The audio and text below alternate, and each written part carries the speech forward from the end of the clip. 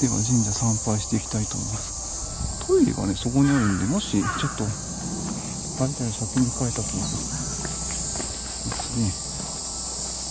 ここは神楽殿だと思います、うん、高須神楽という神楽ですね。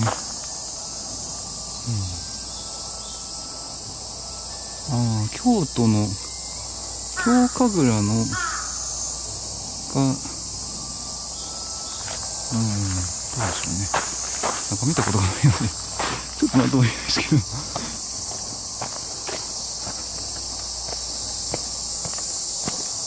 神楽だから舞があるってことですね。お祭りの時に舞があるっていう。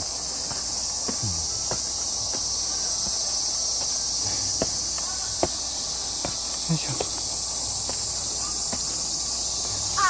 ご寄付お願いしますっていうのがありますね。えー、創設は、まあ、相当古いんですけど、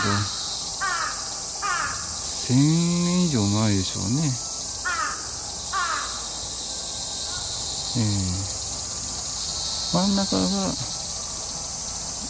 えー、と、左側が玉酔姫で、右側が神宮皇后ですね。沖縄大神姫なので。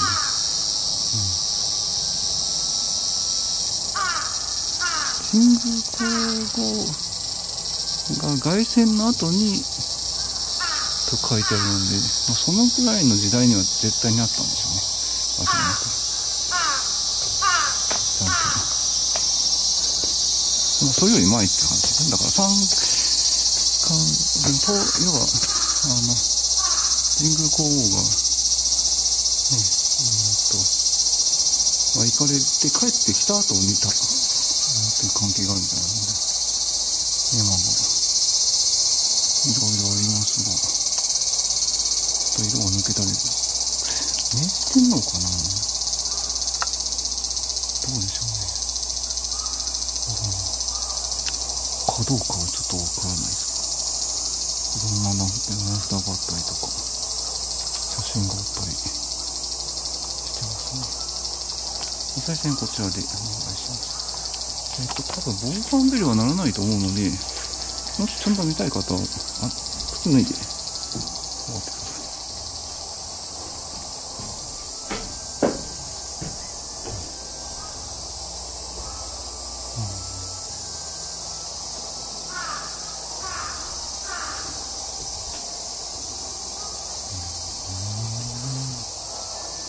なんか、多分、十二支の何かですね。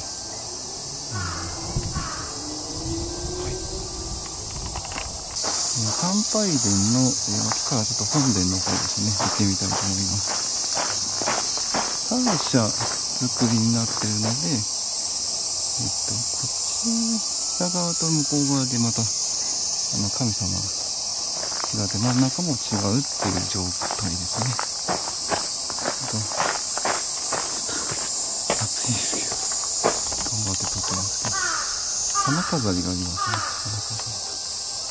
やっぱり姫様、女性の神様がいらっしゃると、飾りがね、結構、大事ここは、ちょっと新しめの塗りが入ってるけども、なんでしょうね。鬼ではないな。り、なんだろうな。どうかな。うん。で、重い金さんが、重い金さんがいて、学問の金さん、重い金さんがいて、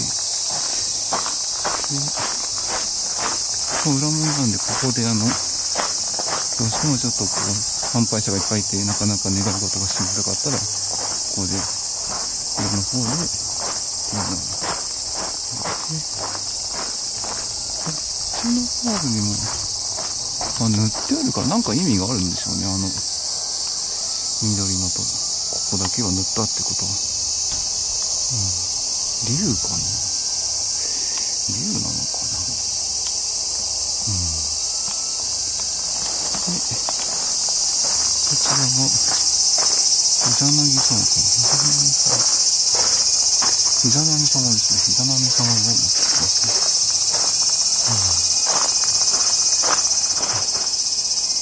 ぜひ参拝してみてください。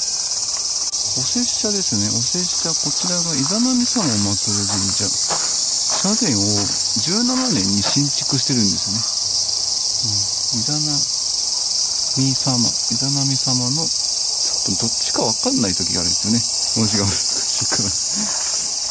あの、イザナミ様、イザナミ様も、ちょっと文字が違う漢字を当てる場合があるんで、その時がどっちだかわかんなくなっちゃう時あるんですけど。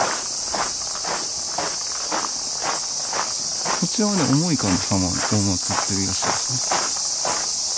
ここも新、同じ時に、社殿を新しくしたんでしょうね。重い神本殿野良殿にあるので、本殿野良殿まで来てください。